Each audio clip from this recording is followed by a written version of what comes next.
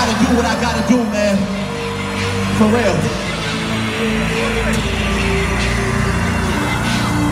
Look, all my exes live in Texas like I'm George Strait.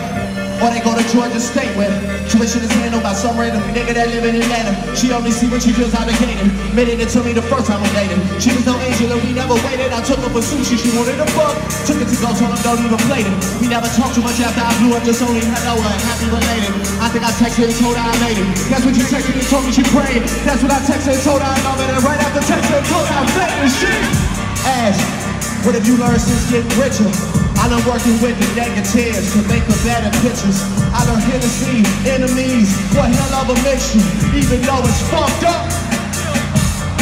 Damn, is it the fall? Time for me to revisit the past. Women in cars, albums to drop, liquor involved. Stories to tell, we've been doing all.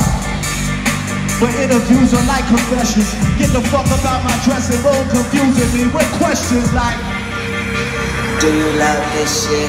Are you high right you ever get nervous? Are you single? I heard you fucking girl, is it true? You get money. You think the Huh? Amsterdam, what's